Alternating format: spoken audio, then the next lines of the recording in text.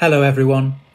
First of all, may I add my heartfelt congratulations to each of you on a magnificent and more than well deserved inspection outcome. In all the years I have been involved in education, I have always maintained that you uh, that your gut could reliably inform you of an outstanding school and I can say that I felt this to be the case from an early stage of my involvement with you.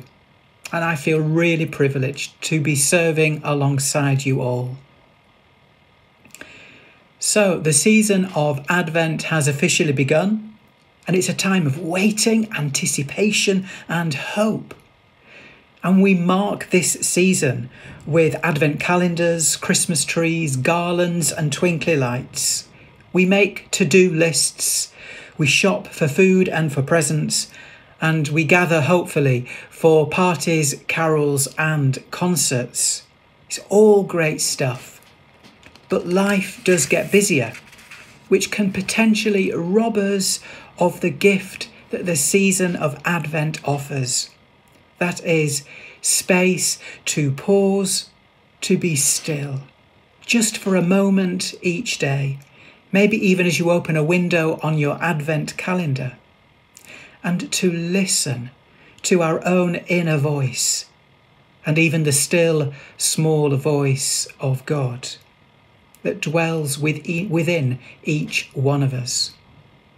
Space to discern what life is really all about for us and in my experience, this can lead us to an encounter that is transformative because it connects us to ourselves and with one another and to God. And this connection is at the heart of Advent and the Christmas event it anticipates. God became one of us in the life of Jesus Christ connecting heaven and earth. The truth is that God is rooted, grounded, and earthed in our human lived experience, yours and mine, in all its joys and in all its crappy bits too.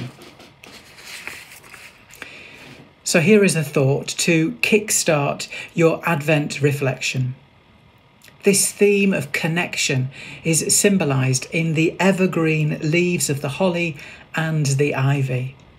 They remind us of the eternal, unchanging love of God for each one of us and for the, and for the promise of resurrection life. Ivy usually grows up some form of physical support. It has to rely on another to grow. So maybe we could ask ourselves how are we showing our gratitude to those that we rely upon? And how are we showing others that they can rely on us too? So may God bless you and connect you in this first week of Advent.